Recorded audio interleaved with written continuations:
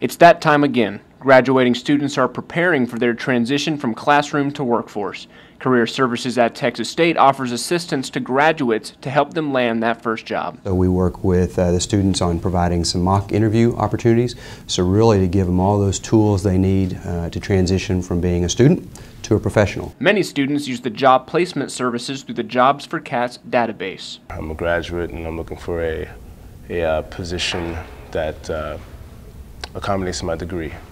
And, uh, and they also set me up for an interview so they can uh, follow up on my progress. Students can make appointments with counselors to seek career advice before and after graduation. What we do is we have different career advisors that are for the different colleges. Um, they're actually staff uh, that are going to assist them really in a different variety of ways um, and specifically to the individual uh, and what the needs are for them. Career Services at Texas State help many students with practice interviews, resume referrals, and job postings, and a host of other services to prepare students for the working world outside the walls of Texas State.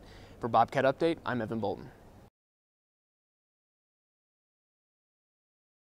Many streets in San Marcos will likely be under construction for at least the next two years. Anissa Bohannon tells us how it's affecting the business on the square. Construction along LBJ Drive means fewer customers are dropping in to shop. Alex Castillo says she's doing what she can to get the word out that her favorite shop is open. I've been asked to volunteer here because the business has been so slow because people just walk right past and they don't want to stop because the construction is just so loud and there's dust everywhere. Construction began in September, closing East Hutchison from LBJ to CM Allen. Businesses in the area have seen foot traffic in their stores drop off dramatically. Local businesses are now competing with not only each other, but parking and the construction that seems to be taking forever to complete. Store owners say the lack of parking is a major concern. A lot of potential customers believe the shops are now closed. Eventually they're going to start working on sidewalks, so then then what? You know, there's not going to be any foot traffic. Like if I had a bad month here, I'd be dead in the water. If I had like a full bad month, I would just be screwed. Store owners want to assure customers that they're still open for business. The construction project is scheduled to be finished in 2014. For Bobcat Update, I'm Anissa Bohannon.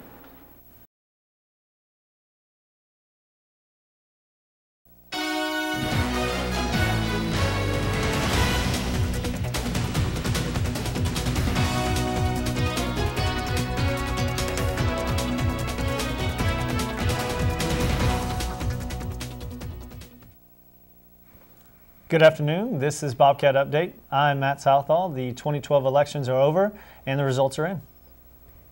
Among the races we'll tell you are two involving local residents who ran for federal and state offices. I'm Jenny Sessions. Thanks for joining us. President Barack Obama has been reelected, defeating his Republican challenger Mitt Romney. Evan Bolton tells us more in this Bobcat Update.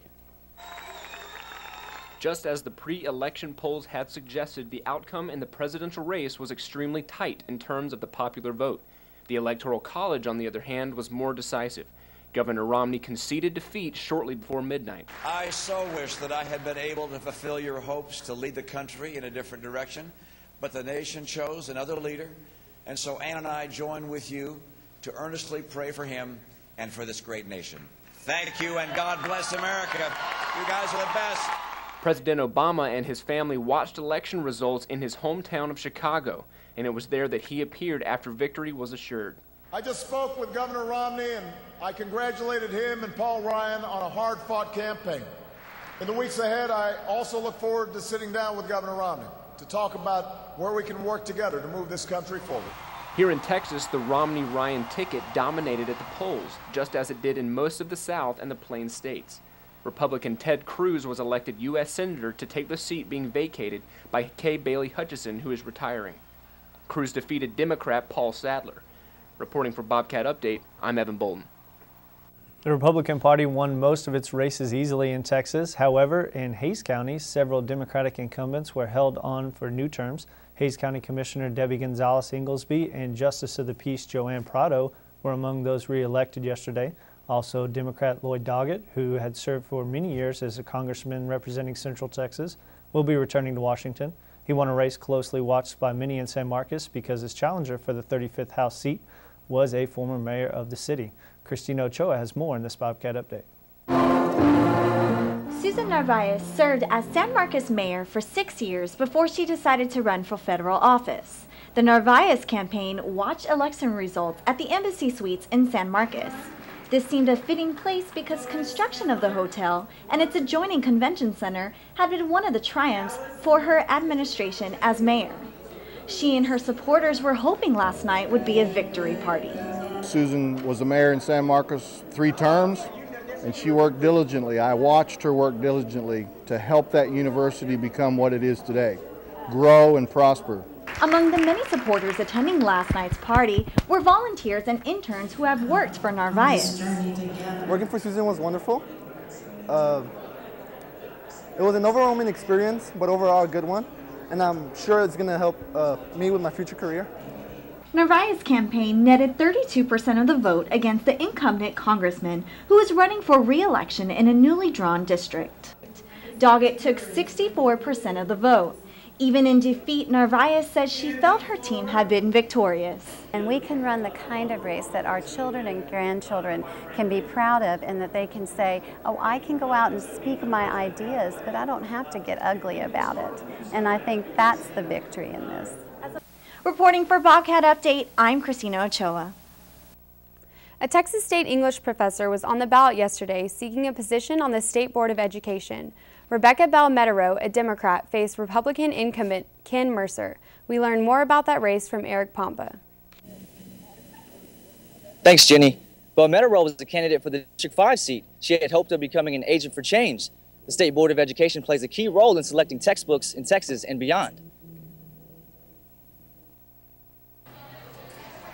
Bell Meadows' attempt to unseat Mercer fell short.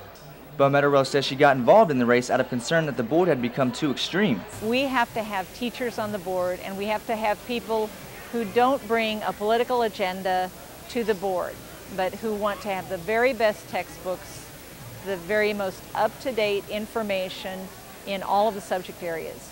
Bill Meadows says the state board's revision of science and social studies textbooks should alarm Texans. I don't want the textbook publishers to feel that they have to revise their material for uh, specifically for the desires of the extremists in Texas. Meadows says choosing textbooks is an important function of the state board, and she wants students to have the means to gain knowledge and comprehension. We can't have students not understanding uh, how economics works, how science works. Uh, we have to have a student body that understands history. Merrill says as far as, as far as she's concerned, the battle is not over. She doesn't rule out the possibility of again running for the State Board of Education. Reporting live from the quad, I'm Eric Pompa. Back to you guys in the studio. Construction on Sessom Drive has motorists and pedestrians looking to use more caution than usual with half of the street closed. Drivers are confined to two lanes with only a few orange cones separating oncoming traffic. Flaggers might be present while the crews work on an underground water line. Students should also note that the bus stop at State Street has been temporarily displaced because of the construction. The project began in late October and is expected to last for about another month. Many streets in San Marcos will likely be under construction for at least the next two years. Anissa Bohannon tells us how it's affecting the business on the square. Construction along LBJ Drive means fewer customers are dropping in to shop. Alex Castillo says she's doing what she can to get the word out that her favorite shop is open. I've been asked to volunteer here because the business has been so slow because people just walk right past and they don't want to stop because the construction is just so loud and there's dust everywhere. Construction began in September, closing East Hutchison from LBJ to CM Allen. Businesses in the area have seen foot traffic in their stores drop off dramatically. Local businesses are now competing with not only each other, but parking and the construction that seems to be taking forever to complete. Store owners say the lack of parking is a major concern. A lot of potential customers believe the shops are now closed. Eventually they're going to start working on sidewalks, so then then what?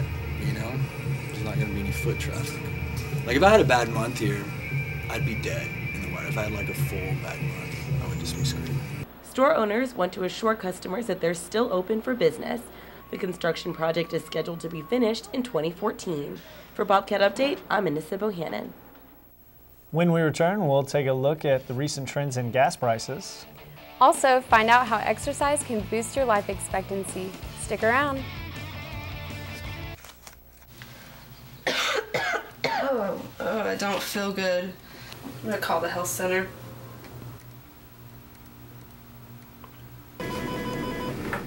This is Manuel, appointment clerk. How can I help you? Hi, I'm really not feeling good and I really need to see somebody today. The Student Health Center offers quality care in their state of the art facility. Conveniently located on a campus across from the LBJ Student Center, they offer same day appointments with an easy self check in desk in the receptionist lobby. The Health Center is equipped with an experienced healthcare staff, including licensed physicians and nurse practitioners. It offers primary care, women's health, and psychiatric services. There's an on site laboratory, digital x ray machine, and a full service pharmacy. It's your one stop shop for healthcare with convenient pay options for college students. To make an appointment, call 512 245 2161 or to learn more about the Student Health Center, go to www.healthcenter.txstate.edu. It's early November, and instead of bringing out the jackets and packing away the shorts, students at Texas State have reason to believe that summer has been extended. Sewell Park is still a popular hangout, Bicycles are still a favorite way to get around. With the temperature hitting a high of 81 degrees today, students are taking advantage of the weather. Don't get used to this though. Starting the next week, the overnight lows are expected to drop to the low 30s. Construction crews are back to work today at the World Trade Center site, a week after Superstorm Sandy slammed New York City. The New York Governor Andrew Cuomo says the 750 construction workers have returned to work at Ground Zero.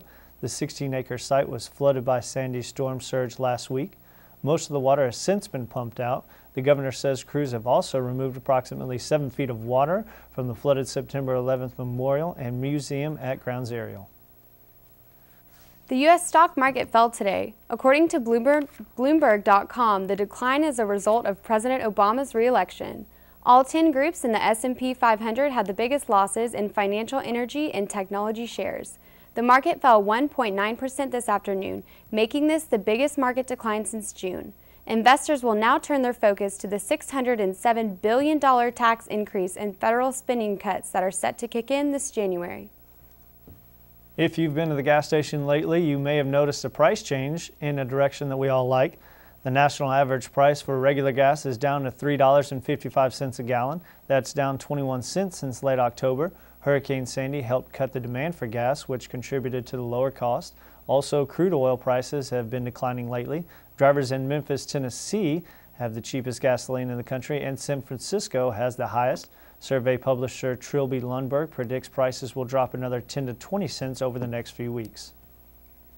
Exercise can lengthen your life, even if you're overweight or obese. Researchers from the National Cancer Institute and Harvard Medical School analyzed studies of more than 630,000 people.